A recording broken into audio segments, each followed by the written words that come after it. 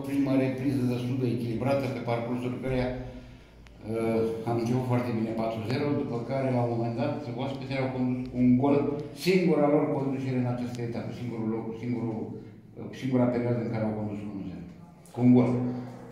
Da, în primul rând țin să felicit echipa din Slobozia pentru că au făcut un meci bun astăzi și s-au prezentat mult mai bine decât ultima dată. Uh, din punctul nostru de vedere, n-am făcut un meci reușit, mai ales în prima repriză, a trebuit să schimb sistemul defensiv și mă bucur că am reacționat foarte bine pe această schimbare.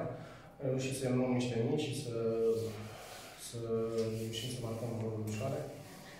Dar uh, una peste alta nu sunt foarte mulțumit de jocul prestat astăzi și e foarte greu în condițiile actuale cu planificările astea de jocuri să, să ții o echipă în tonus cu atâtea pauze foarte mari între, între jocuri, dar acesta este campionatul de anul acesta.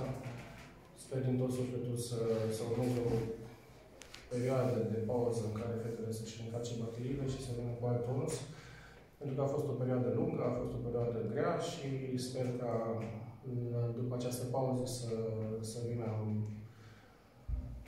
100% montate pentru ce avem de făcut. Pentru că dacă o să avem atitudinea asta, în următoarele meciuri o să fie din ce în ce mai bine.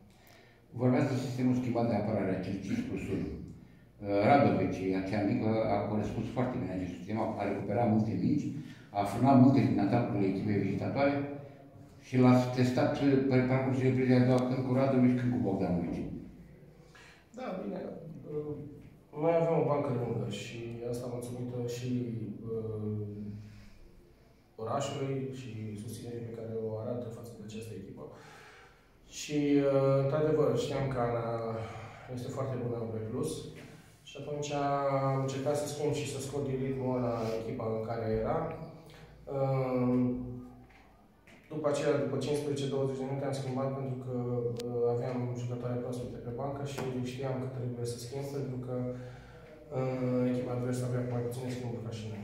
Deși știu că nu comentați arbitrajul, totuși, astăzi nu comentez arbitraj. A fost uh, ultimul uh, meci din an, dacă ne puteți vorbi puțin și despre pauza asta competițională.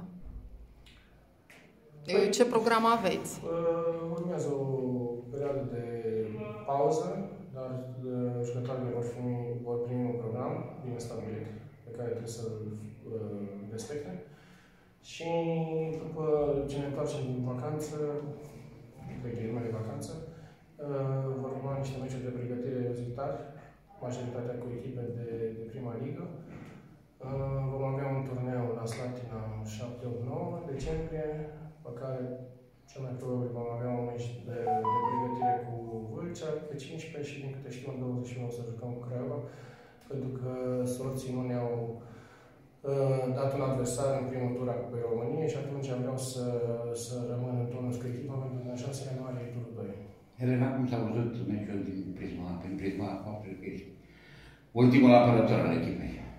Cum ai văzut acest joc? Cam dificil. De ce?